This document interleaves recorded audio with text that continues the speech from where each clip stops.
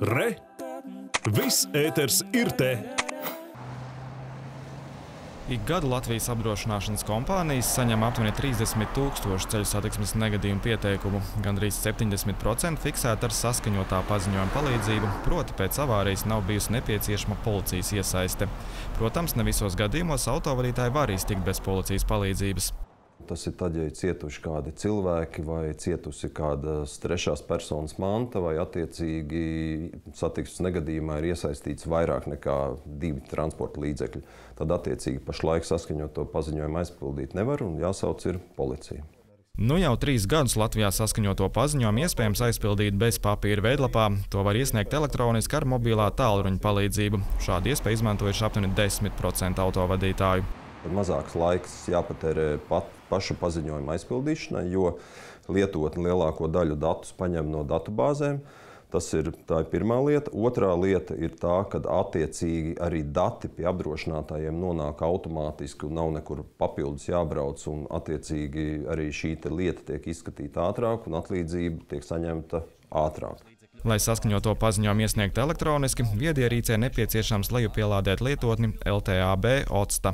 Lietotni LTAB OCTA var atrast gan uh, Apple Store veikalā, gan uh, Google Play, gan arī Huawei ierīču lietotāji. Uh, lietotnes uzinstalēšanas brīdī jums tiks prasīta arī autorizācija caur internetbanku vai mobīlo e-parakstu vai e-parakstu. Lietotnē ir nepieciešama abiem negadījuma dalībniekiem.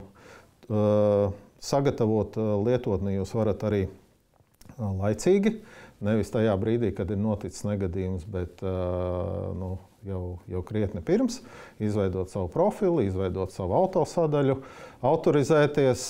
Ja noticis negadījums, tad atliek vienām pusēm ņemt rokās telefonu. Negadījuma apstākļus katra puse pilda par sevi.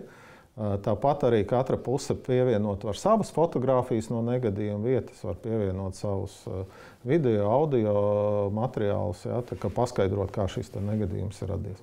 Ja kaut kas tiek norādīts kļūdaini, tad atšķirībā no papīra formāta iesaistītās puses var paspērt soli atpakaļ, pielabot informāciju un atkal turpināt protokola aizpildīšanu.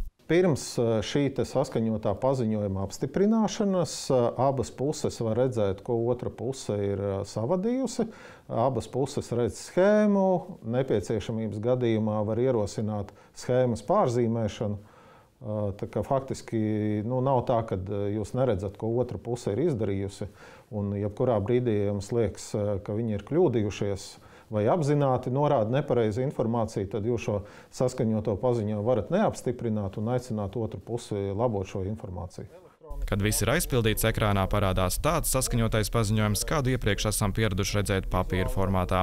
Tas tiek iesniegts apdrošināšanas kompānijām. Ulds Birziņš, Edgars Bita, Latvijas televīzija.